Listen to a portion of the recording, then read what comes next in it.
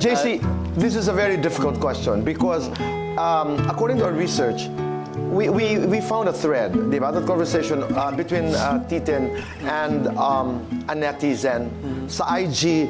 Um, she posted, and I quote, time discovers truth.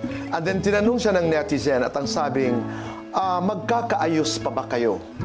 And then she said, he can't be trusted. So there's no way of getting back together. So, kung babasahin mo yan, hindi mo masisisi ang mag-iisip na merong third party. Thank you. Kung yun po yung interpretation ng mga tao din. That interpretation is wrong.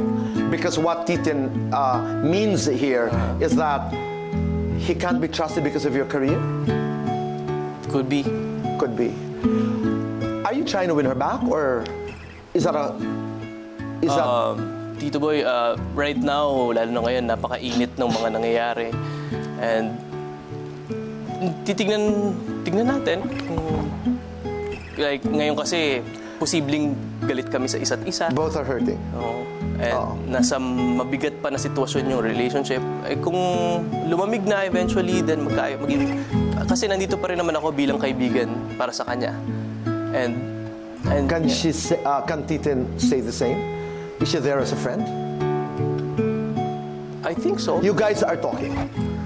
or or not, no? not right now. Not right now. It's it's too fresh. Yeah, still, Oo. eh, ma- bukas pa yung sugat. Ah, ano yung leksyon na natututunan mo ngayon? Commitment talaga is a big responsibility. It is. Kung may nais kang sabihin kay I know this is a public space. What would you tell her?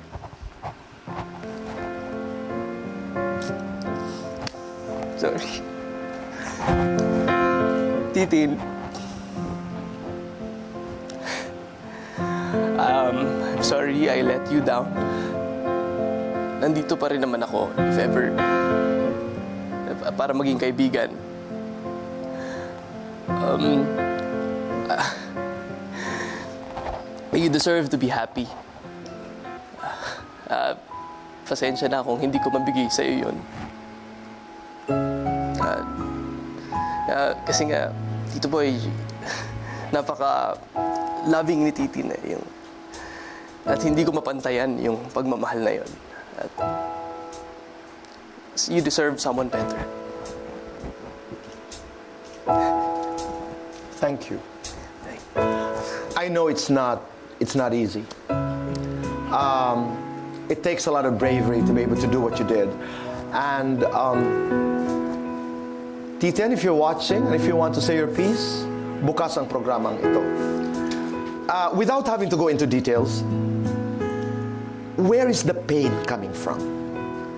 Expectation. You've been together for how long? Four years? Four years. Oh, Yes. Um, eh pag ganun nakatagal, Tito Boy, di ba, parang you feel like it's gonna be forever na. And at ganun ka-serious. yes. Yeah.